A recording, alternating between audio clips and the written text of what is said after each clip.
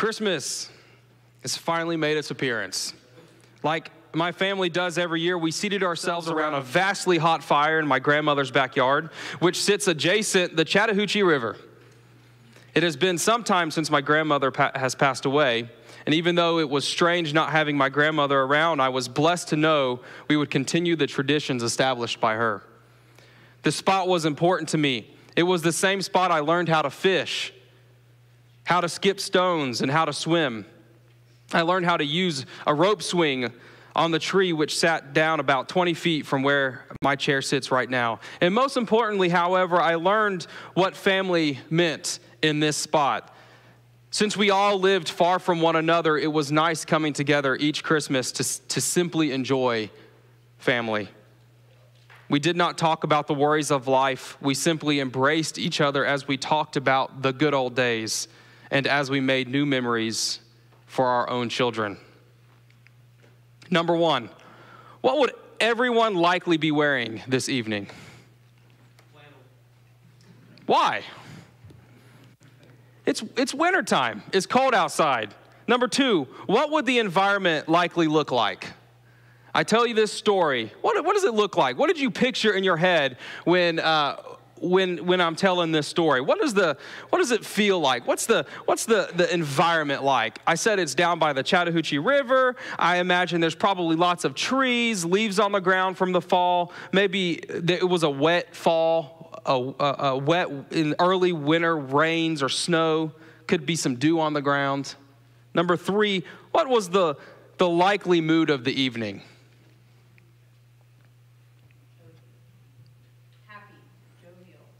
Happy, jovial, festive, emotional, maybe. Somber for some of the older crowd, maybe super excited for the younger attendees. Who is the most likely of people that taught me how to do all the things mentioned in this story? Who, who probably taught me how to fish and to skip stones and swim if I'm at my grandma's house? Grandma, grandpa. Why, why is that important? Why, why would that even be important? Maybe it tells the audience that, that many hours and days were spent at the grandparents' house. Maybe in, in, there might have been an absence of, of parents, or maybe there was a, a single parent situation which caused me to, to go to my grandparents' house a lot. And then I said, we all lived far from one another. What does far mean? Based on everything that I read, what does far mean? I would say, yeah, probably outside the normal distance to travel, right? Probably in, in half an hour, maybe an hour or more travel time. Something that's far enough where you don't get together very often with your family, right? Lately, I have been thinking so much about context about context. Context is defined as context uh, is the background, the environment, the setting, the framework, or the surroundings of events or occurrences. I sat down and I wrote this little this little story in about five seconds. I mean, I just and typed it up really quick. I just threw it together, and I wanted to see what kind of context we could pull from some little details that I wrote the story. Context means circumstances forming a background of an event or an idea or a statement in such a way as to enable its readers to understand the narrative of what's being said. Of what's being said. Therefore, understanding biblical context should take into consideration the background, the environment, the setting, the framework, the surroundings, and the circumstances that go into each word each syllable. Simply put, we should consider the who, the what, the when, the where, the why, and the how of every single passage. Why was it written? Who was it written to? When was it written? Where are they located? That is, both where is the person who is writing the text while writing, and, and, and, or where are the people located to whom the passage is referring to? When the text was written? How do the passages before or after the covered passage fit into the bigger picture? the bigger picture. So today we are going to, tr- to unravel some common mainstream biblical misconceptions this morning and, and, and that have everything to do with a failure to understand context correctly, biblical context. But before we move on, I want to talk about perception for a moment. To perceive means to know, to understand, or to observe.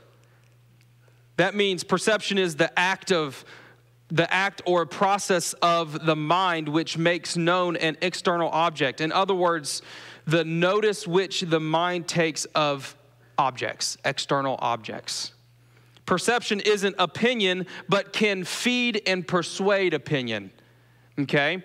I want you guys to try to remember this. Perception isn't opinion, but can feed and persuade opinion. So before we, we get to opinion, in fact, we should feel the need to perceive correctly. A challenge for you today, then, is just this Are you desiring to know, to understand, and to observe the scriptures correctly and rightly divided? Or are your own perceptions of the scriptures more important than the truth the scriptures are? Are indeed telling you.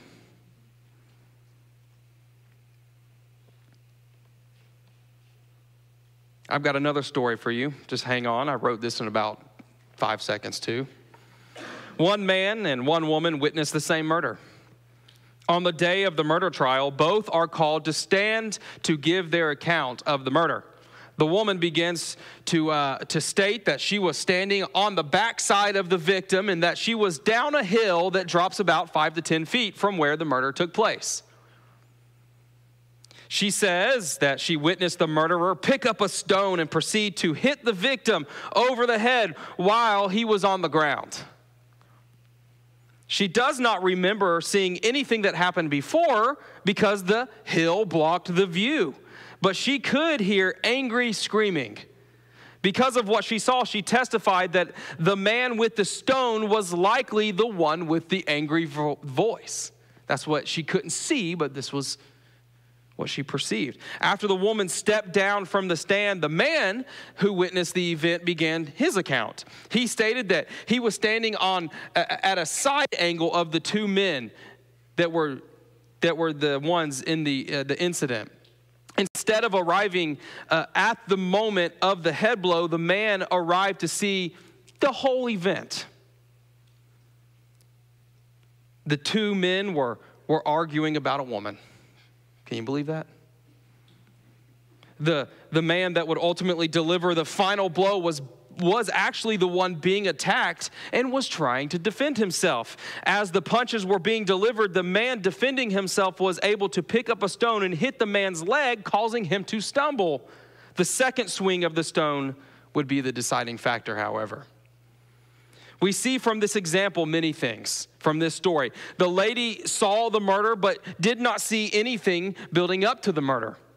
She also had a strange angle, right, down the hill down the hill a little, five to 10 feet, which made it seem like the murderer was a, a, larger man who simply was overpowering the one that was being killed.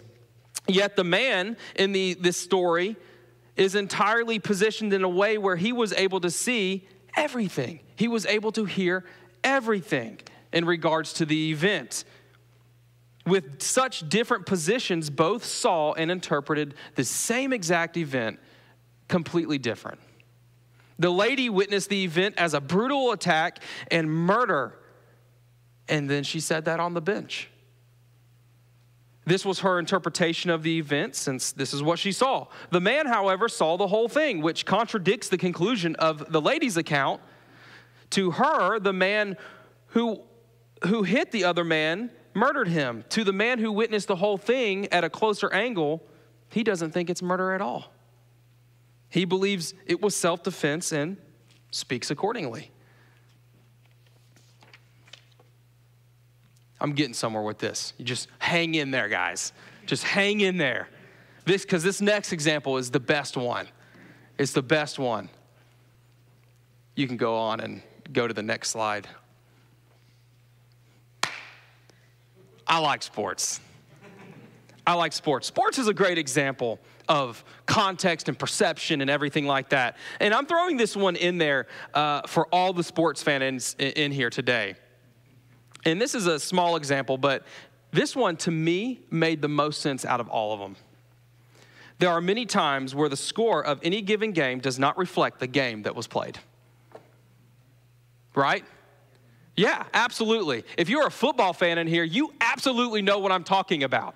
You absolutely know. If you're an Ohio State fan, there was a, a, a, game about two weeks ago, maybe three weeks ago, right, where they struggled the entire game. But the score was this massive Ohio State blowout, right? Don't, don't you pretend like I'm lying. I know, I watched the game.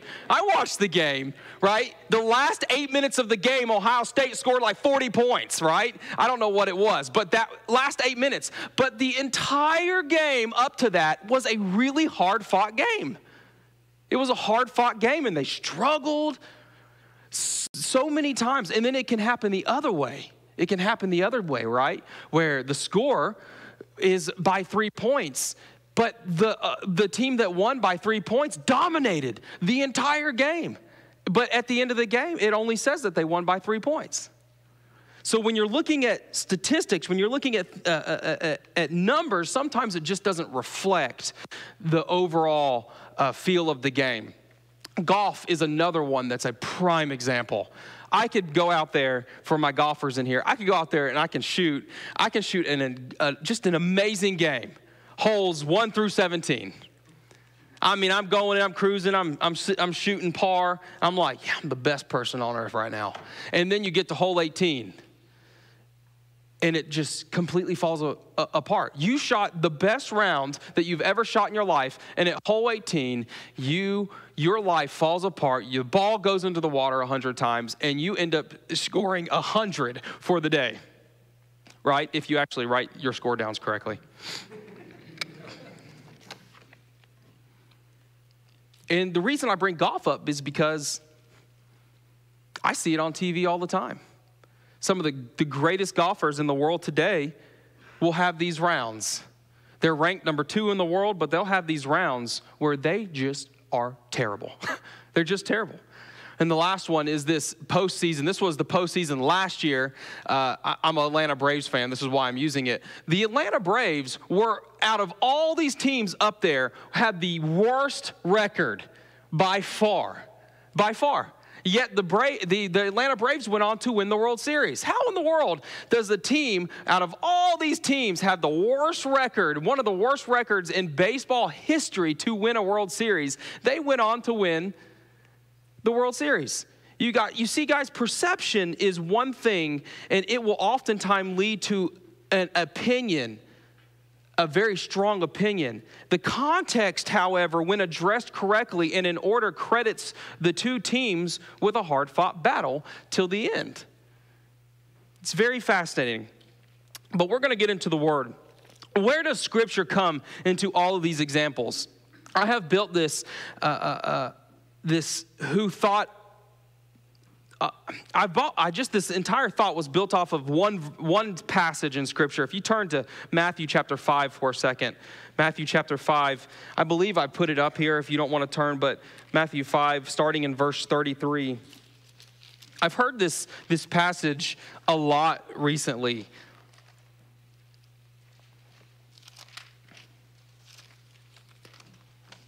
Matthew 5, starting in verse 33.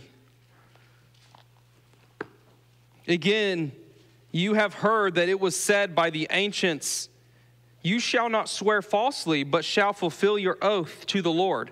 But I say to you, do not swear at all, neither by heaven, for it is God's throne, nor by earth, for it is his footstool, nor by Jerusalem, for it is the city of a great king, nor shall you swear by your head, because you cannot make one hair white or black.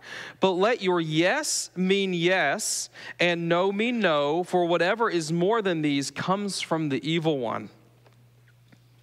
Men seek to destroy what is right in the sight of God. A simple look to our world today. All you have to do is just look at our world today and see the corruptions brought on by the world. I was reading an article just this week that, ha- uh, uh, that have come to, uh, to pervert the words of God and twist context and meaning. Although the words themselves may, may not have been spoken, the context speaks loudly, clearly, and true. The terms yes and no are absolute terms. In this passage, it says, But let your yes mean yes and no mean no. These are absolute terms. In an effort for us to keep the things of Scriptures true and absolute, we must interpret all things within its correct context. If we do not, Matthew records for whatever is more than, uh, he records in Matthew 5 37, for whatever is more than these comes from the evil one. But let your yes mean yes and no mean no, for whatever is more than these comes from the evil one. Matthew Henry, I have his commentary set. I was just kind of looking through uh, different commentaries on this. He writes, it comes from the corruption of men's nature, from passion and vehemence, from a reigning vanity in the mind and a contempt of sacred things. It comes from the deceitfulness which is men. Therefore, men use these, uh, th- these ideas because they are distrust, they are distrustful one of another and think they cannot be believed within them, without them, excuse me. Corruption takes over so I have three sections I want to get to today. We got plenty of time. three sections. The first one is going to going to be we're going to go into some mis- common misconceptions of the Bible as a whole and of uh, God. Common misconceptions of Bible and God. The next section we're going to talk about. Uh, we're going to talk about where is it? It doesn't matter. We'll get to it and I'll explain it then. Number one, things I or others may believe about the Bible or God. The Bible is confusing or disorderly. The Bible is the Bible is confusing or disorderly. The Bible makes sense and each book complements all other books at the same time. Guys, and this is what I, have heard this so many times. The Bible is confusing. I can't understand it. So many times. In fact, if you if you witness often, you run into this a lot. Man, it's just sometimes it's really hard to understand the Bible. It doesn't seem like it, it, it, makes sense. God's overall mission for mankind is shown throughout the Bible's entirety. His mission is continual in each book. The title for God's mission could be God's dealing with the human race in all time periods, or Adam wrecks it, God fixes it, right? We see creation, the fall of man, the beginning of the promise in Genesis. That's pretty simple, straightforward. We see the law in detail in the books one through five. We begin to see the judges on the world. Then the kings of Israel come along. Next, we have the prophets, both major and minor. The gospel accounts tell of our precious Savior, his time on earth. Acts, the book of Acts is the transitional book that shows the setting aside of Israel and the introduction of the dispensation of grace through the Apostle Paul. We see the rapture of the body. Then comes the seven year tribulation. Finally, we have the millennial reign, which leads to a new heaven and new earth. If you haven't read the Bible, I just did it for you. If you if it, it sounds confusing altogether, but it's not. You see, it's just one thing after the other. God just, it just puts it one thing after the other for it to make sense to our minds, for it to make sense to us. Not to mention, this is how it happened and will happen in the future. If you're if you read the Bible through, whether chronologically or from one to the page one to the end, the Bible simply does make sense. It's not confusing and it's not disorderly. We all know the phrase, don't judge a book by its cover. I do this all the time. You should see me in a bookstore. I'm like, nope, that one's pink. I don't like it. we all do it. But what happens is those who try to prove the Bible wrong will take certain verses and make claims on those verses alone. And this, of course, is done without comparing passages with other passages. So the Bible isn't confusing and the Bible isn't disorderly. The second thing that I've heard many times is the Bible is full of killing and hatred. Therefore, God is only a vengeful God. First and foremost, the Bible is indeed full of killing, and it is indeed, it contains hatred in a lot of its uh, pages. But the Bible itself never encourages killing, nor does it agree with hatred. In fact, we know that the Bible says not to murder. Exodus 20:13 says, "You shall not murder." But what about all the passages that prove God's love? There will come a time in the future where God pours out his wrath on mankind, but what about all the passages in the Bible talks about the love of God. John 3:16 tells us alone that God loves us so much that he sent his son Jesus Christ to die for the sins of the world. Sacrificial love is the ultimate example of love. This is why God desires our lives to be f- full of sacrifice for him. Are we willing to give worldly things up for God? That's the question. Are we willing to give our time and our efforts and our money to God instead of to self? Paul reminds the husbands in Ephesians to love their wives as Christ loved the church and gave himself for it. Ephesians 5:22. The few verses before this, the apostle reminds us to walk in love. He literally says, Walk in love, as Christ loved us and gave himself for us as a fragrant offering and a sacrifice to God. And one of the greatest verses about the character of our God is Colossians chapter 3 verse 14 which states, "And above all these things embrace love, which is the bond of perfection." God is the ultimate example of binding, a bond, if you will. He is perfectly unified together with the Father, the Son, and the Holy Spirit. That's the perfect Trinity. This, the third one here, the third point that I've heard so many times, and maybe you you're relating with some of these. If you talk about uh, God a lot in your lives, maybe some people have said this to you. It is it is not possible to understand the Bible without help. This is this is an important one. And I want to I want to spend a minute on this. Turn to Acts chapter 8 really quick. Acts chapter 8.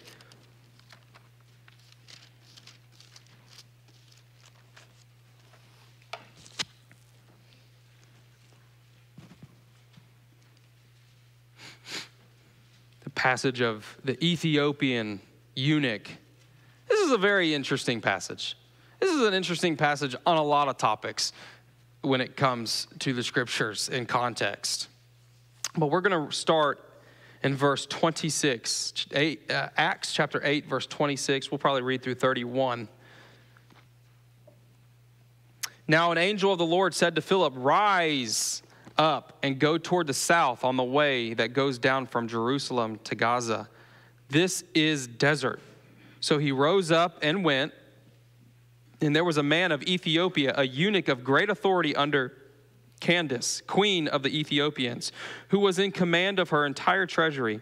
He had come to Jerusalem to worship. He was returning, sitting in the chariot, and reading the book of Isaiah, the prophet. The Spirit said to Philip, Go to this chariot and stay with it. Then Philip ran to him and heard him read the book of Isaiah the prophet and said, Do you understand what you are reading?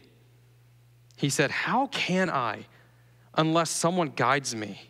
So he invited Philip to come up and sit with him. First of all, have you ever pictured this? Philip running to, I mean, what if you were sitting in a car and someone just comes like bolting up to you? Like, wouldn't that freak you out? That would freak me out, right? That would completely freak me out. But he says this really interesting question here How can I understand what I'm reading unless someone guides me? First, this is a great question. Yet it is a misconception that we cannot understand the Bible without proper guidance. And let me explain here for a minute. We must first acknowledge that the Bible is broken up into dispensations. God deals with people differently in different time periods. Second, the Bible is in its completed form today, and it wasn't in its completed form during this time when this was being written or when, uh, when the Ethiopian eunuch was reading Isaiah. In 1 Corinthians chapter 13, verses 9 and 10 states, For we know in part and we prophesy in part, but when that which is perfect comes, then that which is imperfect shall pass away. This perfect right here in this verse refers to the Word of God. When the perfect comes, when the Bible is in its completed form, then that which is imperfect shall pass away. And then, third and final, the Bible is ultimately for believers. And what do I mean by that? I was one of my uh, favorite authors is Joel Finck. He lives up there in South Dakota. We go to his conference uh, every year. He says, When we say the Bible can be understood, we must qualify this by saying God intended you to understand it as a believer. He goes on to talk about you are going to have some problems if you're only trying to understand the Bible on an intellectual level. I believe, especially when it comes to the faith aspects of the words, this, this is what, uh, what's going on here is that you sometimes when you're reading the Word of God, and you're not a believer, you can, you can understand everything that you're reading, but you can't understand everything that you're reading because of the faith aspect. How can someone without faith understand the faith parts of the Bible? When, when that, that knife was going up to kill the son in the Old Testament, Abraham, right? And we, we look back at that and we think about, wow, that faith. That faith, right? You start to think about some of these things, it's, it's hard to understand. Moving on, the, section, the second section we're going to talk about today are, are things about the Bible that we typically believe that are actually not in the Bible at all. Anyone, can anyone think of any? Okay. I'm telling you, the list is pretty, it's pretty long. I'm going to go over some pretty easy ones today. And I, I, I ask you to go home and maybe find some more. Number one, the fruit was an apple in the garden. The Bible never says apple for the forbidden fruit, yet it commonly is thought of as such. Where in the world did we get an apple? Where did we? I have every translation to mankind in the English uh, language in my office, and I have gone through, and I, except for one, because it's not We'll leave that alone. One says it's an apple, but it's not. I don't really call it a translation. but some other ideas include fig, right? After they sinned, what did, what did they make uh, the coverings from? Fig leaves. So some people say, well, it's probably a fig. I read that someone thought it's wheat, grapes, wine. It's actually not grapes, but it's wine. I've read that a lemon like fruit of some sort. But where did the apple come from? And what can we draw from the context? We're talking about context, don't forget that. What can we draw from the passage?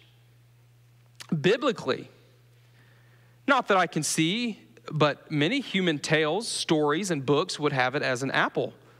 So it must be an apple. But context shows that when Adam and Eve sinned, God removed them from the Garden of Eden. Since the garden is not accessible today, it makes sense that whatever the fruit was is not able to be had today. I, if you're reading this passage, that's the context that makes sense to me. I could also side with the fig idea because that's pretty creative, given the, the, that they used fig leaves to cover themselves but in Genesis 3 7, it says, Then the eyes of both of them were opened, and they knew that they were, I got to say this without the southern accent, naked.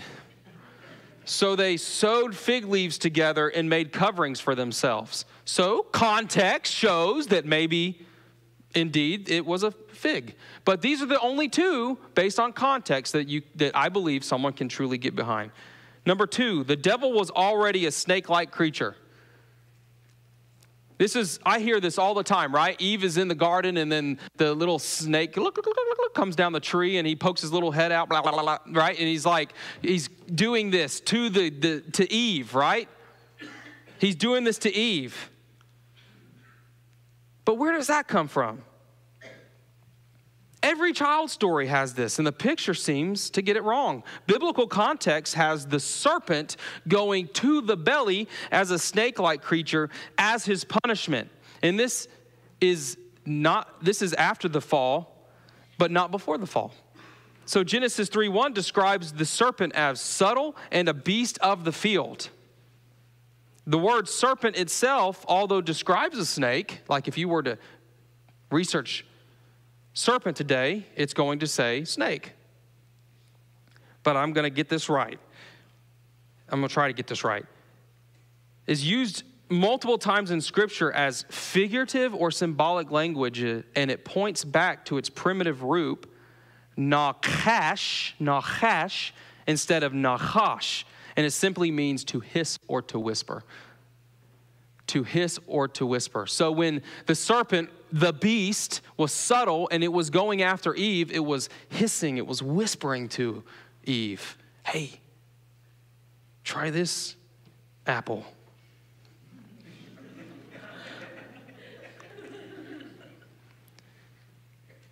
In this case, we know that the serpent or the beast was indeed engaged in a whisper of sorts. He was deceiving Eve. The Bible has uh, the number three, excuse me. So the fruit was an apple in the garden. Number two, number one, number two. The devil was already a snake-like tre- creature. Number three, the Bible has many contradictions. The Bible has many contradictions. The Bible contains contradictions only if it is not rightly divided. 2 Timothy 2:15 states, "Study to show yourself approved by God, a workman who need not be ashamed, rightly dividing the word of truth."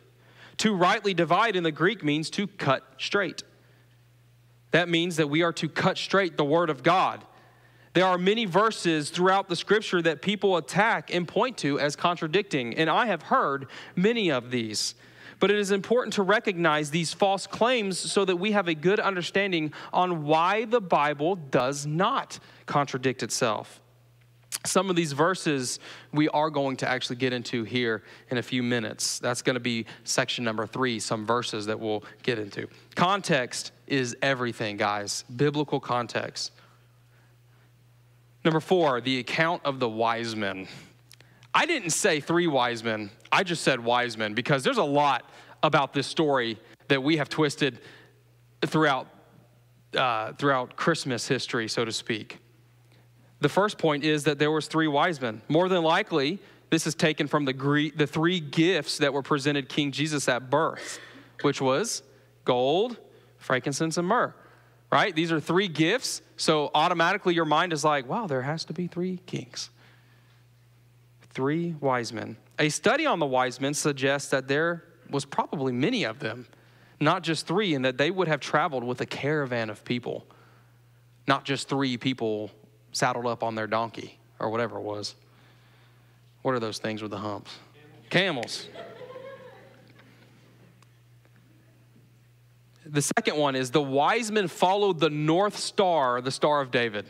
That's the one that I really want to get to. You guys probably have all heard the three wise men one, but that they saw the star in the sky and they were just follow that North Star. Is that possible? I mean, think about that for a second. Is it possible to follow the North Star directly in a straight line? Pat Kilgo, a missionary in Malaysia with Things to Come Mission, he wrote this article, and I want you to hear what he says. He says, Coming to see the Messiah was easy to talk about, but harder to achieve.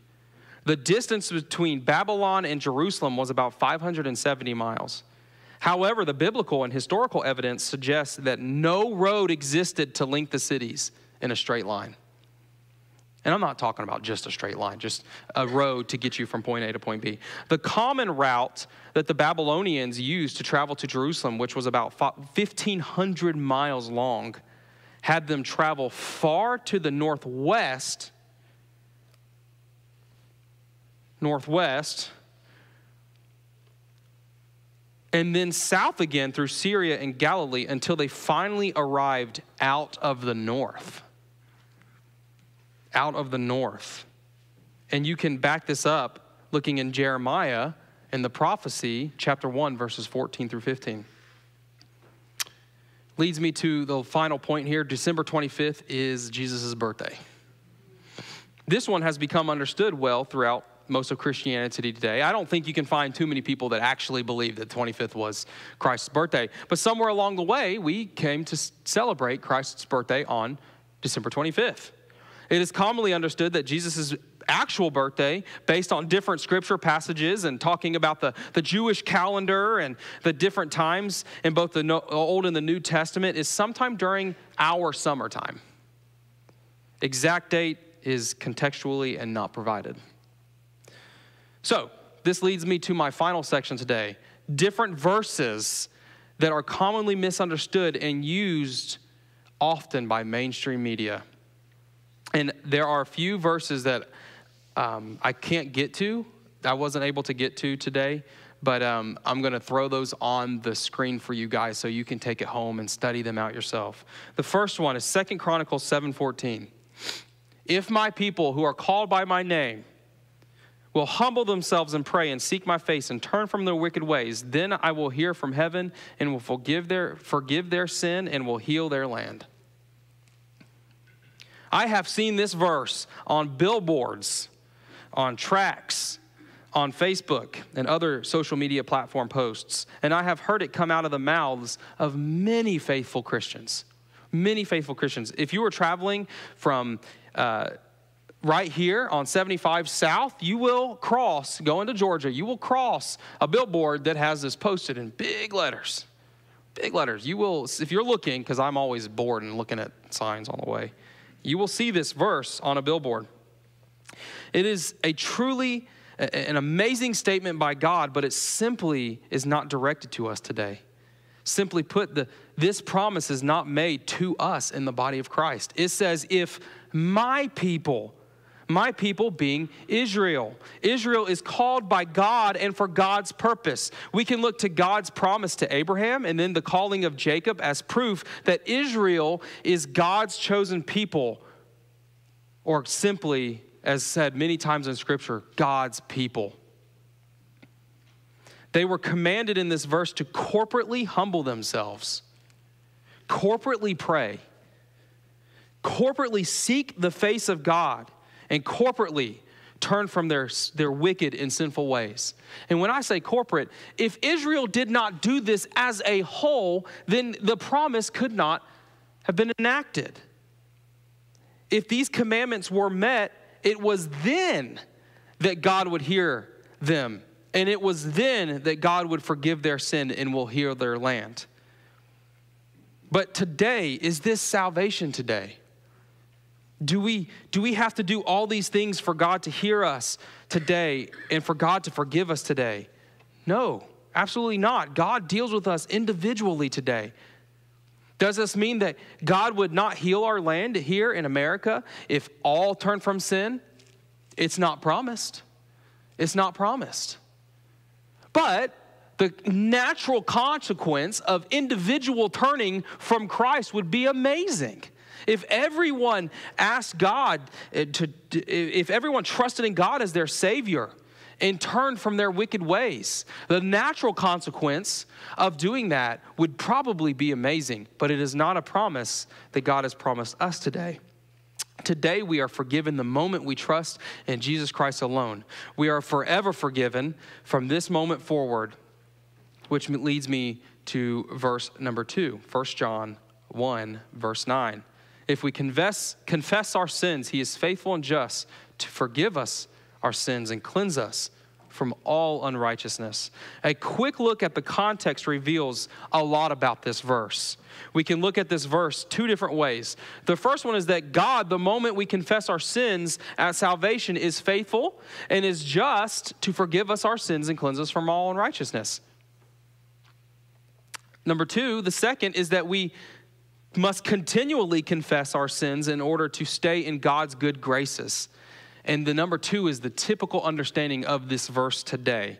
I can't tell you how many times growing up, guys, where I would be in the congregation and the pastor would say to something along this line right here. If you have sinned today, you need to go home, get on your bed, and try to think of all your sins and ask God to forgive you of those sins, or you will be out of communion with God. And I say this in a very serious way because it really uh, it wrecked my understanding of God's forgiveness for many years.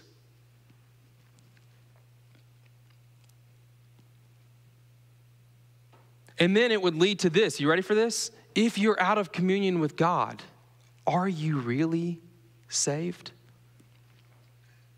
Are you really saved?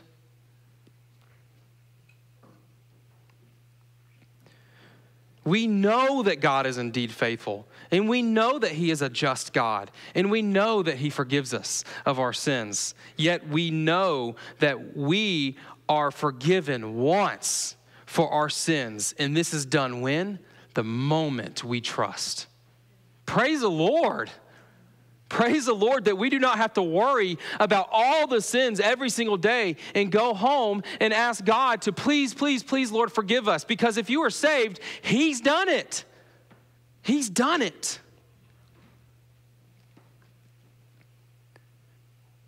Which leads me to what in the world is this verse talking about? We must differentiate between asking for forgiveness or confession and repentance. This passage of 1 John 1 9 addresses John's brothers, being the Jews, who are out of fellowship with God. Jews who are out of fellowship with God. Furthermore, it is a plea from John and a command for these Jewish brethren to enter back into fellowship with God through faith in Christ Jesus. Why? So that God can heal their land, so that God can protect them and forgive them corporately. Guys, the Jews are waiting for their Messiah today. The Jews offered Christ not as a sacrifice but as a murderer. And they still have to repent of that today. The next verse, Jeremiah, I got two verses left. I think we can get through it. Jeremiah 29 11. For I know the plans that I have for you, says the Lord plans for peace and not for evil, to give you a future and a hope. It should be noted immediately that God does indeed know the plans that He has for us. Why? Because God is God. He's all knowing. This is possible because God is all knowing in all dispensations. The second half of this verse is what I really want to fo- focus on here. With, especially when it comes to context similar to Second chronicles 7.14 this verse is well known and is quite quoted often many times christian parents or grandparents will tell their uh, they'll use this verse uh, for their children who are graduating maybe graduating high school or graduating college. And, and the idea is hey, don't worry, God knows the plans, and He, he has plans for you to, to, uh, for, of peace and not for evil. Turn, if you will, to 2 Timothy. 2 Timothy chapter 3 and verse 12.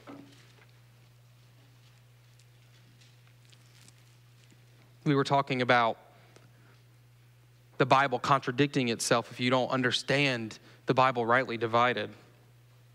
And this is one of those contradictions if, if you're misinterpreting Scripture. 312 says, Yes, and all who desire to live a godly life in Christ Jesus will suffer persecution.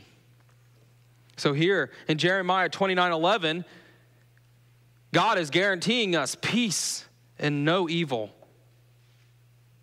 here, if we live a, a faithful life in Christ Jesus, what's going to happen? Persecution. Persecution. I always tell people hey, don't look at this verse in a negative way. If you're receiving persecution and you are on the right path and you are indeed trying to live a life for Christ Jesus, that is a blessing because it says it. Here you have two interesting verses that seem to contradict each other. We have already discussed, as I've gone over, that that's not possible. During this time of Jeremiah, let's go back to Jeremiah 29 11, he was dealing with Israel corporately. There's the corporate, as I had up on the screen earlier. Corporately, Israel awaits the thousand year reign where Christ will rule as king. This is the time this will be the time of peace. In Jeremiah 29 11, where it says, plans for peace and not for evil to give you a future and a hope. Israel awaits the thousand year millennium of peace, and it's their hope. That's their guaranteed future and hope that King Jesus would sit on the throne of David in the millennial reign. Again, Israel's earthly hope versus our heavenly hope. Two hopes here God dealing with man corporately as he did in the days of Jeremiah, and God dealing with man individually today as he deals with us in the body of Christ. There is no contradiction here because of correct interpretation. And the final verse I want to get to today James 5:15. And the prayer of faith will save the sick, and the Lord will raise him up. And if he has committed any sins, he will be forgiven. And I want to focus in on the first part of this verse specifically, because time only permits that. It is important to note that our faith today is not the healing force as spoken of in this verse. We have been told in Scripture that the sign gifts have been temporarily set aside sign gifts were assigned to this, the sign nation, which is Israel, to accomplish God's mission for Israel in the world prior to Israel's rejection of her Messiah. In, in 1 Corinthians chapter 13, verses 8 through 12, we read these words Love never fails, but if there are prophecies, they shall fail. If there are tongues, they will cease. And if there is knowledge, it shall vanish. For we know in part and we prophesy in part, but when that which is perfect comes, we heard this verse earlier, then that which is imperfect shall pass away. When I was a child, I spoke as a child, I understood as a child, and I thought as a child. But I, when I became a man, I put away childish things. For now we see as through a glass, dimly, but then face to face. Now I know in part, but then I shall know even I also am known. Now, this is not to say that God cannot heal an individual today. Almost everyone here can, has, has evidence that God heals people today. We are alive today. How many sicknesses have we had in our lives? God is a God of healing. We all know and have seen that. But our prayers of faith today do not guarantee the healing from sickness as spoken of in this verse. That's not a guarantee for us today. And then four other verses, we don't have time to get to them today. I'm going to throw them up there. Romans 13:1 Let every person be subject to the governing authorities for there is no authority except from God and those that exist are appointed by God. What I wanted to point out in this verse and you guys go home and study it out is that it says that there is no authority except from God. And if you take this verse and you Google, uh, if you search this verse, what you're going to hear, page after page after page after page, is people saying, you don't have to listen to your government if they're a mean government. That is not what this verse says. I challenge you, go home and read it out. Matthew 7 1, judge not that you be not judged. James 5:15 in the pr- oh, I threw that up there. I meant to take that down because we just did that one. The last one, Philippians 4:13, 4:13. I can do all things because of Christ who strengthens me. That's a very tough one. But I challenge you to take that verse and look at the context of that verse. In conclusion today, guys, I hope that I have not confused you today. This was one of those messages where I sat back there and it's been on my mind. It's been on my mind. When we read the Bible, I challenge you look at the context. Look at the context. I challenge you to read what lies before the verse, after the verse. Look at God's whole mission as a whole. How does this fit into the mission of God? Understanding the Bible rightly divided is so important. And guys, it's fun to study the Bible deep. Let us be, become like those noble Bereans and study the Bible to prove its authenticity. Let's pray. God, we thank you so much for this wonderful day. God, we thank you for this time that we get to spend together. Lord, to dig into your word, the Bible is just so vast and so deep and endless. Lord, we just ask, uh, ask you to be with us as we go about our ways this week. Just encourage our hearts to, to, read, in, uh, to read the Bible in its correct context, to understand some of these really tough verses, God, but just know and understand that they're not a mistake and your Bible does not contradict itself, Lord. Be with us in Jesus' name. Amen. Will you stand as we close?